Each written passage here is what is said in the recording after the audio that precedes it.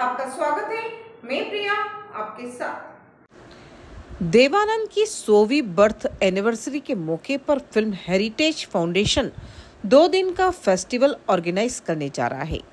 इस दौरान मुंबई, हैदराबाद, अहमदाबाद, त्रिवेंद्रम, चेन्नई, बेंगलुरु, कोलकाता, लखनऊ, गुवाहाटी, इंदौर, जयपुर, नागपुर, दिल्ली जैसे तीस शहरों के पचपन सिनेमा हॉल्स में उनकी फ़िल्मों की स्क्रीनिंग की जाएगी।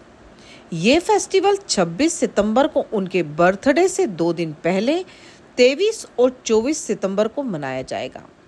फ़िल्म हेरिटेज फाउंडेशन ये festival national film development corporation of India और national film archive of India और पीवीआर इनोक्स के एसोसिएशन में सेलिब्रेट किया जाएगा।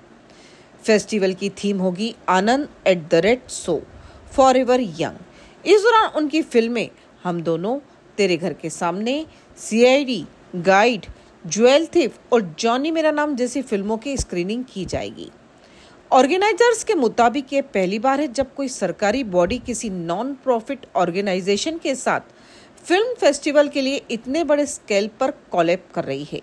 इस फेस्टिवल के लिए नेशनल फ़िल्म हेरिटेज मिशन के तहत खास तौर पर देव आनंद की फ़िल्मों को 4 के रिजोल्यूशन में बड़े स्क्रीन पर देखने, रीस्टोर किया गया है।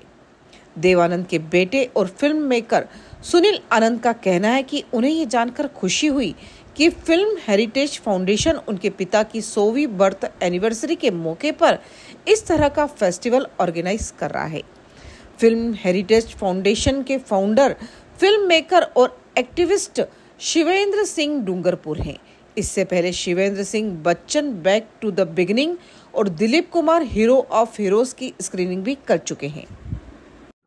इसी के साथ बने रहिए राजनामा टीवी के साथ। धन्यवाद।